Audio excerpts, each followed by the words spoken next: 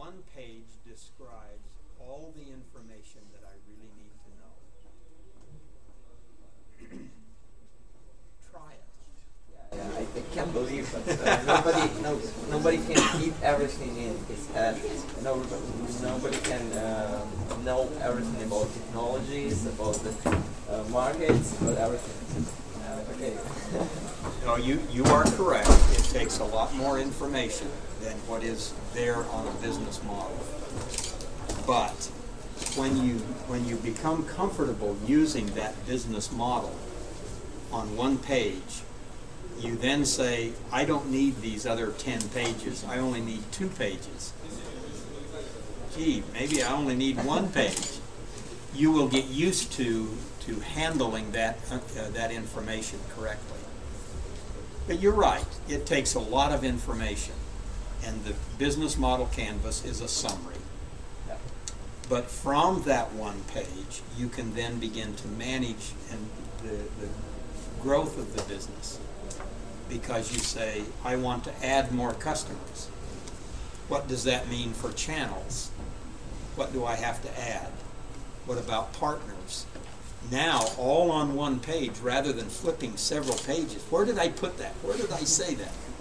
It's all right there. And you can make additions to it. Then, if you feel the need to add these descriptions, you can.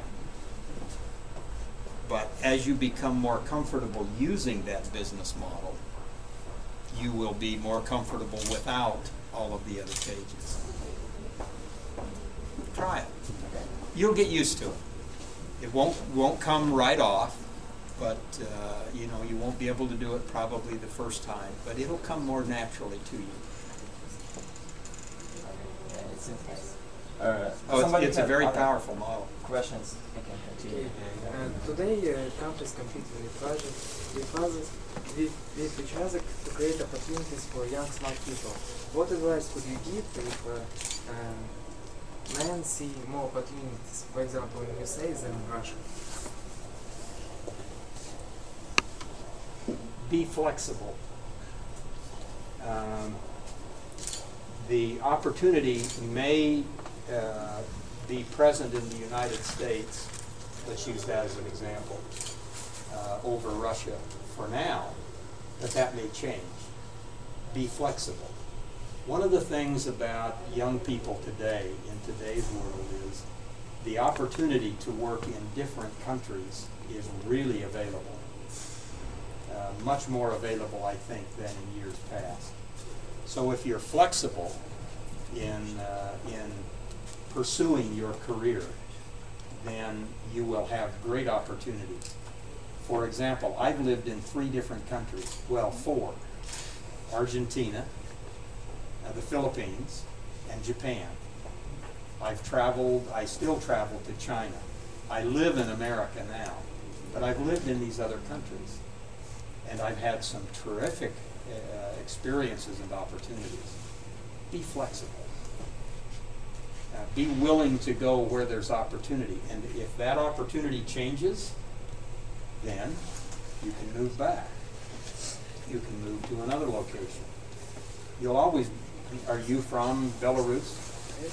You're always going to be Belarusian, and you should be proud of that. But you can take your experience and knowledge and apply it in the U.S., in South America, in Poland, in England, in Russia, wherever it might be. And be willing to be flexible like that, to pursue it. That would be the advice I have. Don't be afraid just because it's in a different country. You're always going to be Belarusian, and this will always be home. Good advice.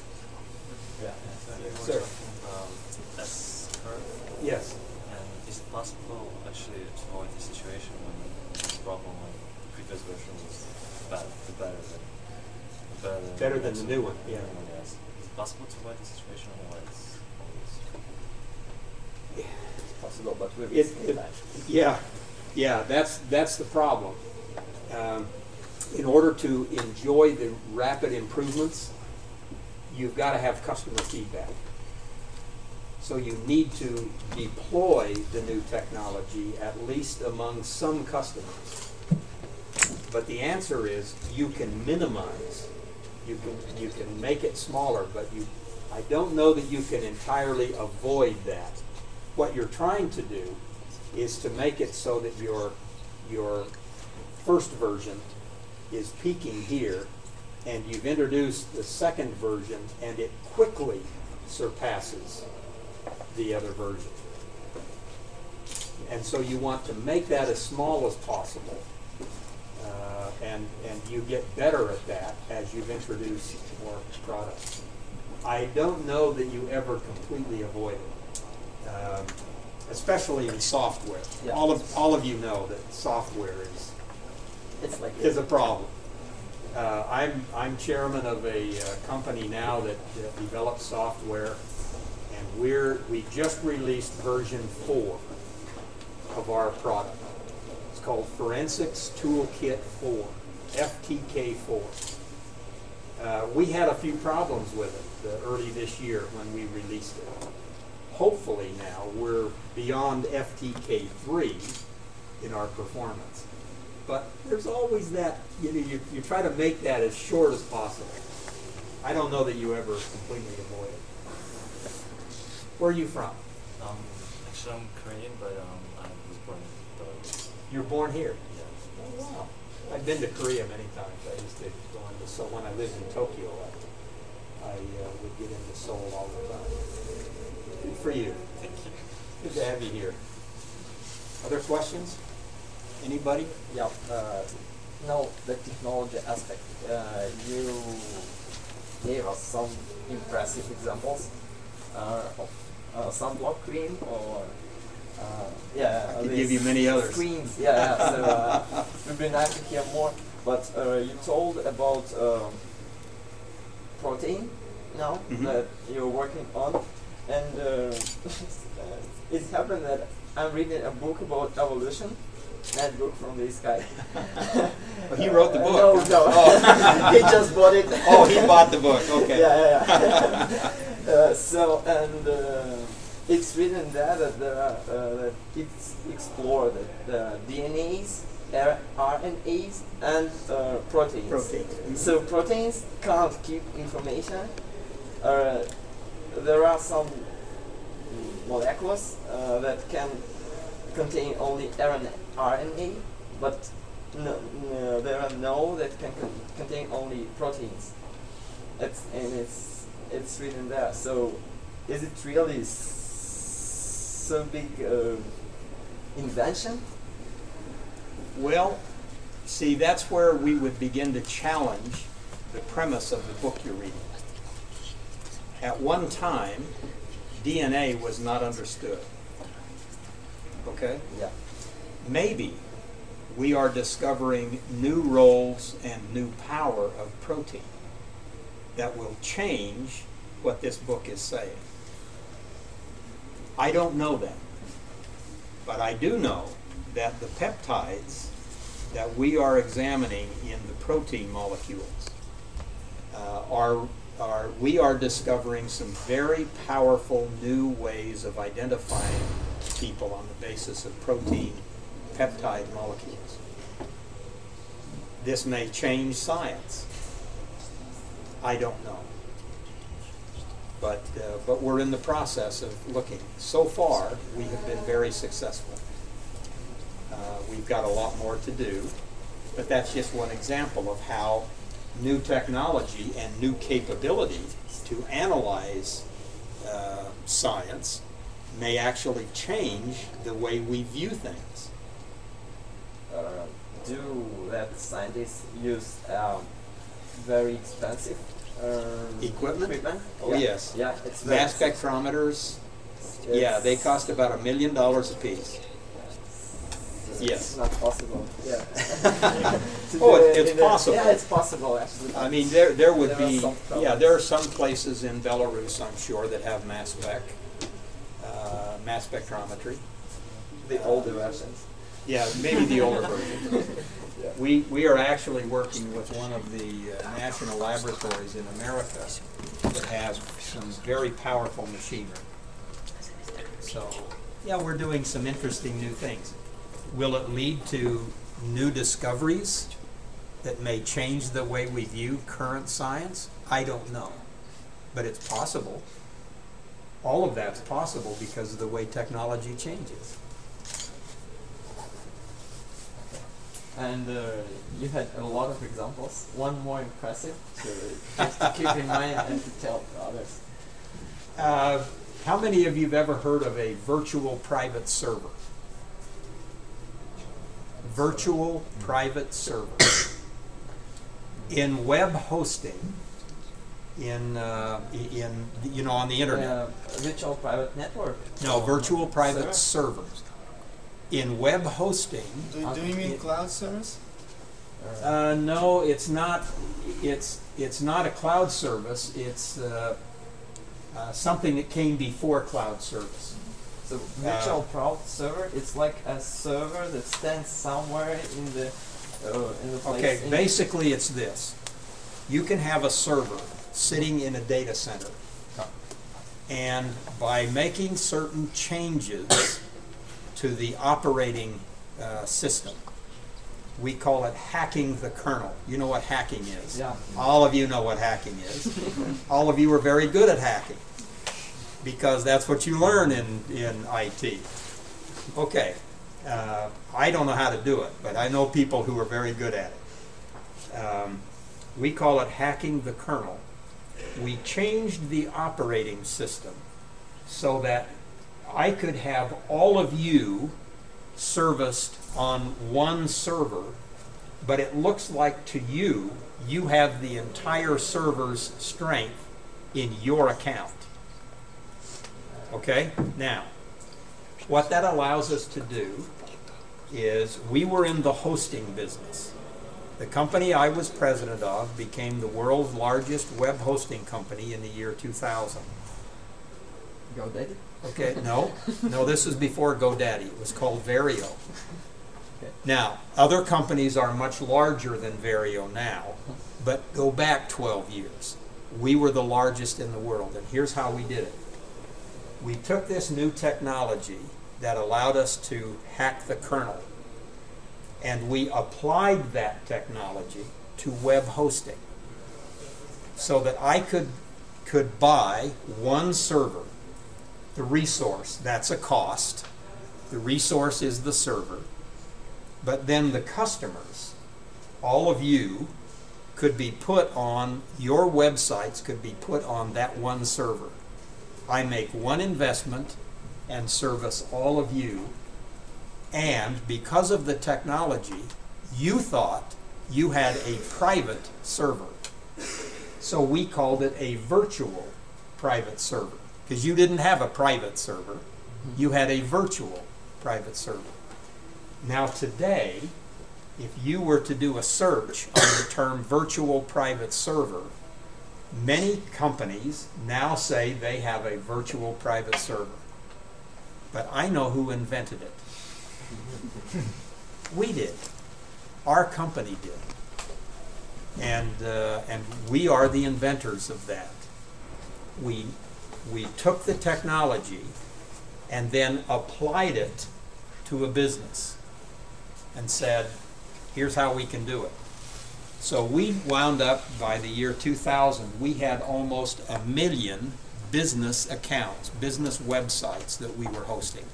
Now, these are the early days of the internet. Today, many other companies are larger, but back then, we were the world leader. And we did it on the basis of a virtual private server. That's an example of a business application. And it made the company very valuable. We sold the company for a lot of money. Okay, so um, most your And why are we in business? Sorry. Why are we in business? To make money. All right, just, just, just so we know. world better, world you know. We made the world better. by making money. yeah. We made a little money, but we made the world better. yeah, yeah, yeah. exactly. So uh, most your experience is to come to company, to grow their, uh, to make money, To grow the business to and grow sell the it. sell it, and then pick I- up another company? Yes, that's, I've done that several times. Okay, so That's what I do. what is the next company? Do you know? Uh, yeah, we've got one going now. Uh, this is one, I mentioned it briefly. It's called AccessData. Mhm.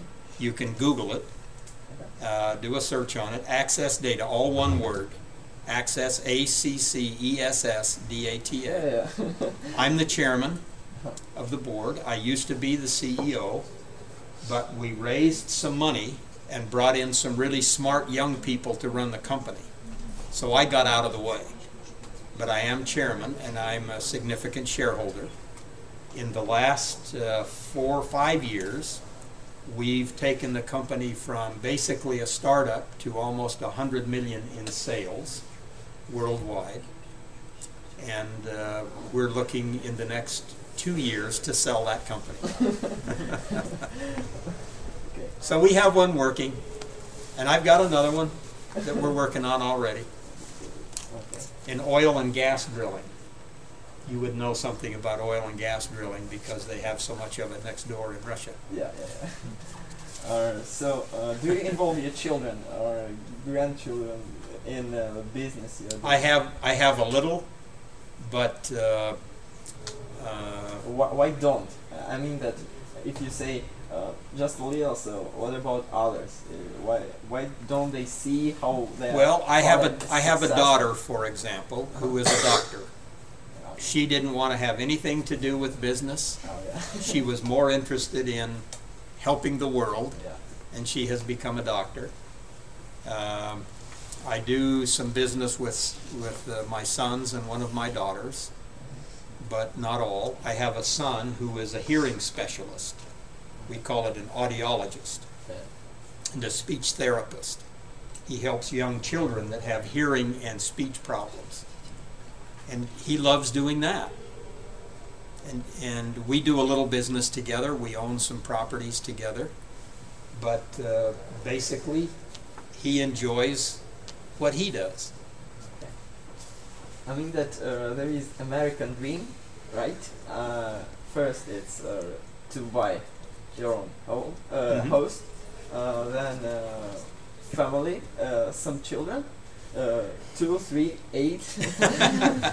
And yeah, I have a big family. yeah, and the third one is to make your own business. So, uh,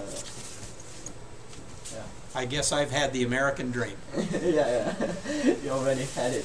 I've, I've had it uh, a few times, and we're going to keep doing it. okay, you mean children? No, no more children. no, more, no, no more children. I leave that to my children. Okay.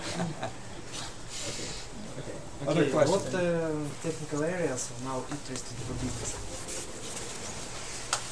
I think the, the real interesting areas for business, number one is IT.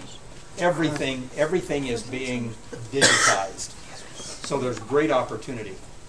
But, but there are some significant advancements in biology and chemistry, especially as it relates to uh, examination of disease. I think that we're closing in on the ability to cure cancers, for example. Uh, and the research that's being done in biology and chemistry will, will greatly advance uh, in, in the area of medicine. And so I'm very excited about uh, the improvements that are being made there. So, yeah, you know, scientific things, uh, biology and chemistry, I'm very excited about. IT, because everything is being put on computers. I mean, we carry them around now you know, we, we carry all kinds of information. Uh, being able to do that is, is a direct result of the kind of work that you do. Because it wouldn't work if you didn't do your work right. So there's huge opportunities in the area of IT and I think biology and chemistry. I, I'm sure that physics, uh, there's lots of things happening in physics and astronomy and space travel and all that, but I'm more interested in what's going on around here. For example, I'm working with a company right now, I'm not a shareholder, I'm just consulting with them, that through biology they are creating some bugs, some little enzymes that uh, can go into a contaminated area where there's been oil spills or gasoline or something like that and eat those harmful hydrocarbons and leave the ground ready for planting gardens. Those are biological and chemical advancements that are helping people. And, and I'm very enthused by that kind of stuff. I, I think those are, they can make money, but they really do help a lot of people. I think there's a lot of things happening. So what do you think about sensors? I mean, that uh, everybody say that now we uh, uh, we have phones everywhere, we have uh, TV, laptops, and other stuff. But uh, what is next? I mean, we are very developed in this area, so it's not like We- something We, radical. we are, we, We are barely developed in those areas. There is so much more to be done. No, no. I, I mean, yeah. Of course, we can we can do nano things, uh, and it would be great. But uh, Do you know that that the founder of IBM said at one time, he famously said, there is a need for maybe five computers in the world. now, all of us have at least two or three computers. There's billions of computers. And the, the founder of IBM said, there's maybe a market for five of these things. So to look today at, at how far we have come in technology and say we're so advanced, we are just getting started at the kinds of advancements. There will be advances in your lifetime that will astound you like the advances in my lifetime have astounded me. And, and it comes from people like you you make those changes happen because of the technologies that you work on, you invent, you facilitate, you make them work better. So there, there will be additional great discoveries in the future, I'm sure. And you're all part of it. um, if a technical guy starts a business, uh, it's he need to find a, a businessman in the beginning or hire a businessman. Um, usually the answer is yes. Maybe hiring a business person is, is better said, you need a partner who is a business person rather than just hiring and you're going to boss them around. You need a partner because partners, if, if I earn a salary, I will do what I'm told. If I'm part owner of the business, yeah, we will work this thing to death. yeah, but uh, it's like you can, as you're a businessman, you know more about money, about this stuff, and the technical man can be uh, frightened that he will steal everything from him. I mean that. Uh, There, you get like- you get partners. These are people that you know and trust. Not not just anybody, yeah, yeah, but your friends, people that you trust. Uh, nobody builds a business alone. It takes a team of people, and uh, and so, you know, this internet company that that we built. I was the old guy. I mean, I was really old. These these young engineers that invented the technology were just barely older than you. They were in their mid 20s when they invented this technology, but they didn't quite know what to do with it. I linked up with them, so they, I was introduced to them, and I became president of the company, but we were partners. We built the business together. And before they were 30, they were all multimillionaires. We built a very valuable piece of property. But you get you get partners. It's not a matter of saying you're going to steal something from me. It's a matter of saying we know each other, we trust each other, and we're going to build this business together. You've got to find the right people. Okay, So keep in mind, find friends Find- among the business. Make friends among the business people. And, and what I'm telling them when I speak to the business people, how many of you know about technology? Go meet the people in informatics and radio electronics. You gotta go meet these people. They've got the ideas.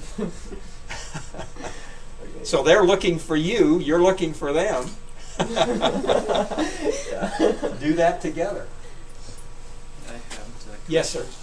And um, I want to ask you about. Um, you said that IT is uh, very popular right now, and it uh, can mm, help us to create good business. But actually, I am uh, very interested in uh, artificial intellect. What do you think about uh, this stuff? And uh, is it possible to get a good money um, by engineering or creating some stuff? Yes, I think that artificial intelligence is a growing area because there is a lot of possible applications for artificial intelligence in the area of manufacturing expertise, uh, navigation. You know that that uh, Google has been approved in the state of California to have a driverless car. They, they actually have cars on the road without a driver. And it comes from the artificial intelligence, the ability for a machine to accept and, and accumulate uh, information and make decisions. So I think that there's a, a great opportunity in a variety of applications. Some I'm not even aware of yet. Uh, actually, I'm just afraid of um some sta- starting to create some, something from this stuff because uh, there is a lot of companies, a lot of uh, universities, some something like Berkeley University, that they already do some some work in this way, and uh, they much stronger than me and uh, in in knowledge stuff. Right, right now, they might be stronger than you. But if you keep working at it for the next three or four or five years, ten years maybe, they won't be stronger than you. Uh, I'm afraid that they can reach uh, the their goals uh, before me. They may reach their goals before you, but they won't reach every goal before you. Yes, they may be ahead of you right now in one application or two, but there will always be other applications and opportunities. Anytime there's change, there's opportunity. So don't don't be discouraged. Keep moving forward. You'll you'll find a way to use the uh, capability that you are you are developing, uh, and and in some ways that you may not even think of right now, but will be opened up to you as you continue in your studies and in your work. So don't despair. Keep moving forward. I think it's a great area. Okay. And uh, the last question, I think um, there is a lot of uh, things, a lot of uh, uh, good invents that were were already uh, that already have, but uh, in in other countries. But there is no, for example, in Belarus. Uh, for example, I'm trying to do something like smart house, and uh, how do you think? Is it a good idea to create something that already exists, but do, don't exist here? Or maybe I should uh, work for for something more advanced, maybe uh, that uh, don't exist. A good way to start is to look at what other people are doing and then copy them. Imitative innovation. Remember, I talked about that. That's a great place to start. And as you move into there, you will then discover new things that they haven't done that you can do. Now you're incrementally innovating and you are better in the marketplace. So don't be afraid to look at what somebody else is doing and say, let's see if I can do that here. Okay. Don't be afraid of that. I suspect that uh, we better let you get to your classes and lunch. Thank you so much for your interest. It's uh, kind of you to spend the time with me today. Thank you. Thank you. Please, please let me know if there's uh, some some additional questions you may have. You know how to get a hold of me. Everybody is available in the world these days. No bounds. Thank you very much. Thank you very much, Mr. Millington. We have present for you this T-shirt of our faculty and some information about our university. Oh, wow. Thank you very much. Thank you. Look at this. It was really great, and uh, I believe that it's useful, very useful for our There we go.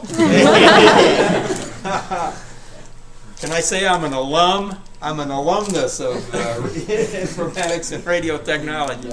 All right. I will wear this proudly. Thank you very much. Thank you very much. Kind of you. Thank you. This is fantastic. Thanks to all of you. Now, did we get a copy of this? Yeah. Presentation Yeah. and the document. And, and the document? document. Okay, as long as we've got And this. we may share between our students. Absolutely, you can share it with all of your students. And we share uh, video with your lecture uh, between our students too, right? Did you make a video of this? yes. You can share it with all of the students if I get a copy. Can you send me a copy? Okay. Okay, okay, okay, sure. All right, Yeah. just, just send me a copy. Okay. Send me a link to the video.